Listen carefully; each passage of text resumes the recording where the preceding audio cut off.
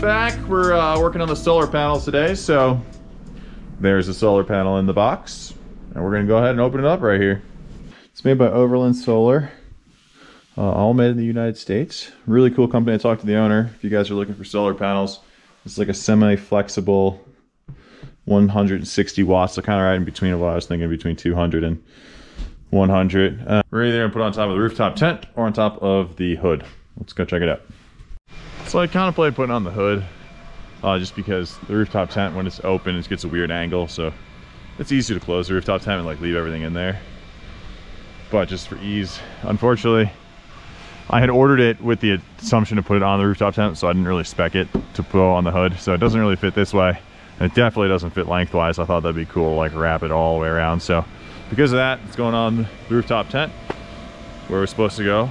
He said just use some 3M VHS tape. So I, I just bought some like really big two inch thick, um, two-sided 3M VHS tape.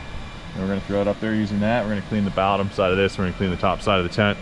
Get a nice clean surface on both and uh, get it up there. And then I also have the controller, which we'll go through all that shortly here. Song, just make sure all the dirt's off. Clean, clean the backside of the solar panels. Clean, clean the backside of the panels.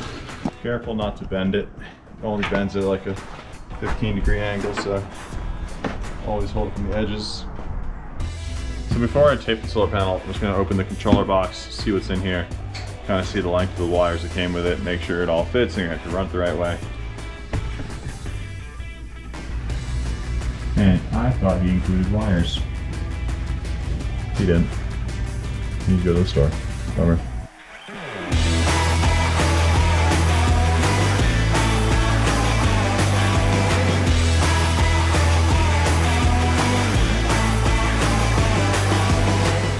So here's the controller. Um, this whole piece is going to go in the rear, um, in the whole battery box section. We're to have to take out the whole in order to get in there, it's just so much easier if I like open everything up, take the diesel heater out, and take everything off. So I even need to clean the back of the truck. this is all. I took this apart. I need to take this completely out. Uh, but this is where all the controllers are. You can see at 12.7 volts. Weather's really nice though. Hopefully it stays nice because it sucks working in the cold. Okay guys, well, we made it on. So we got the whole box out of the truck, which is great. This opens up this panel, so I'm gonna pull this off now, and that opens up the whole electrical side of the things. Hello. 3M tape. See, I got the two inch thick. Put it on. I gotta show you this. Before I put it up there, I did use the 3M VB, VBH. I don't know if I said it right the first time. Um, got all around the edges, so just gonna be easier to maneuver once it's up there. And gonna go up there, peel off the other side, stick it down, and see how it looks. Yeah, I'm just slowly peeling this back as we go down, press down as we work our way back. I gotta peel off the back piece before I make it too far back, otherwise I won't be able to pick it up to undo it. So that's how we're getting it on. The solar panel's up. Now we gotta mount the wires and run the wires to the battery and to the controller. Um, I had to pull apart the entire battery box so I can get the controller mounted into a good location um, on that panel. And we're just gonna go ahead and start wiring everything up. So the battery and then the photovoltaic cell um, or the solar panel. And then there's another thing called load, which I don't think I actually need to do. So I'm trying to see, I'm reading through the instruction manual. I'm pretty sure the guy said I don't even need to touch those. So we're gonna go ahead and uh, you got some 14 gauge wire. I went back and forth on what gauge to go with. And then the type of wire. So uh, I went with some outdoor, really flexible 14 gauge wire. Should do the trick. It's not running that far. Hopefully it's not too much wire.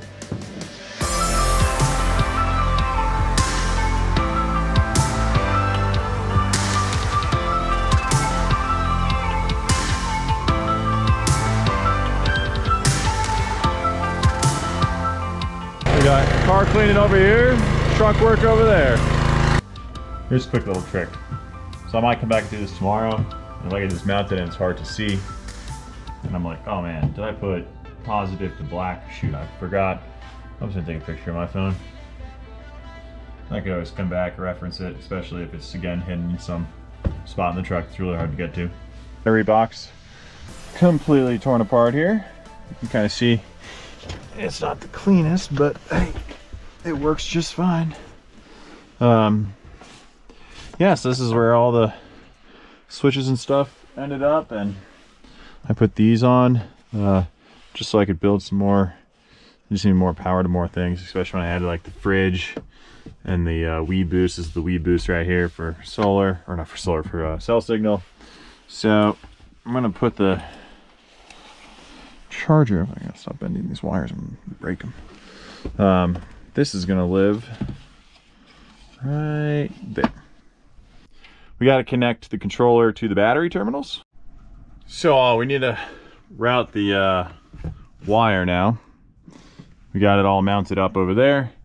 And my thought is, you know, I, I kind of use as many holes as I can already that are already in the truck. So we're going to go ahead and use either this one up here or this one over here. Um, and I'm going to drill into this right there. And that, I believe, should be able to pass the cable down through and then into this hole.